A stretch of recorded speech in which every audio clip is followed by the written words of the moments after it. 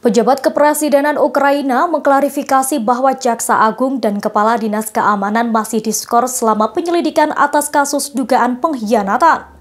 Sebelumnya, Presiden Volodymyr Zelensky pada Minggu 17 Juli 2022 mengatakan bahwa kedua orang tersebut telah dipecat dari jabatannya.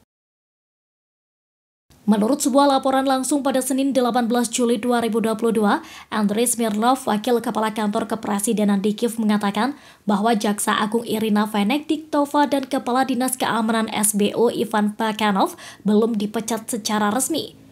Berbicara di televisi lokal, Smirnov mengatakan bahwa Venediktova telah diskors dan Bakanov sementara diberhentikan dari tugasnya selama pemeriksaan dan investigasi dilakukan.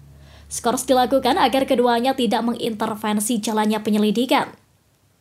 Sementara itu, kantor kepresidenan Ukraina telah mengeluarkan klarifikasi bahwa Kepala Dinas Keamanan Ukraina atau SBU dan juga Jaksa Agung masih ditangguhkan. Keduanya belum diperhentikan seperti yang diumumkan sebelumnya.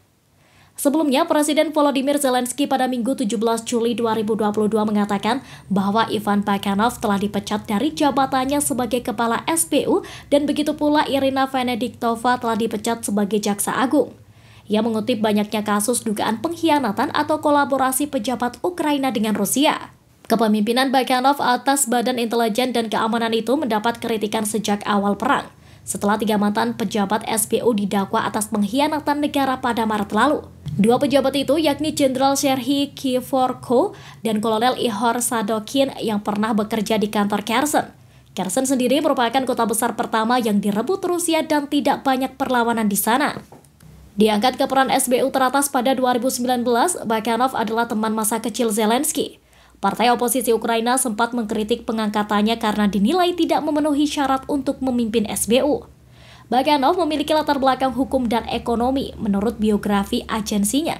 Zelensky menurut sebuah laporan sedang mencari pengganti Bakanov dan juga pejabat keamanan lainnya selama berminggu-minggu. Namun Presiden tidak menyebutkan pengganti Bakanov dalam dekret pada hari Minggu atau pidato malamnya.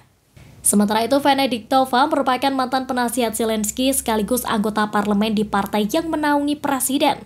Ia diangkat sebagai jaksa agung Ukraina pada tahun 2020 lalu.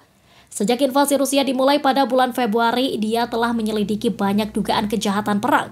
Venediktova yang merupakan jaksa agung wanita pertama di Ukraina diprofilkan di beberapa outlet berita Amerika Serikat terkemuka untuk penuntutannya atas dugaan kekejaman Rusia.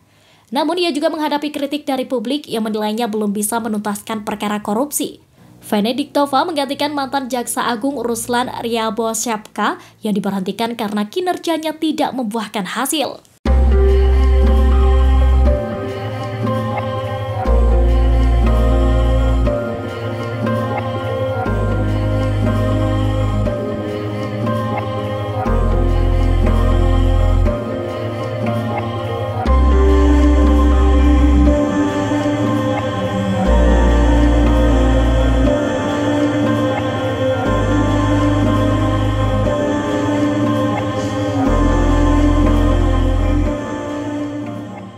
Demikian informasi dari Tribun Jateng Update. Saksikan terus Tribun Jateng Update hanya di channel YouTube Tribun Jateng.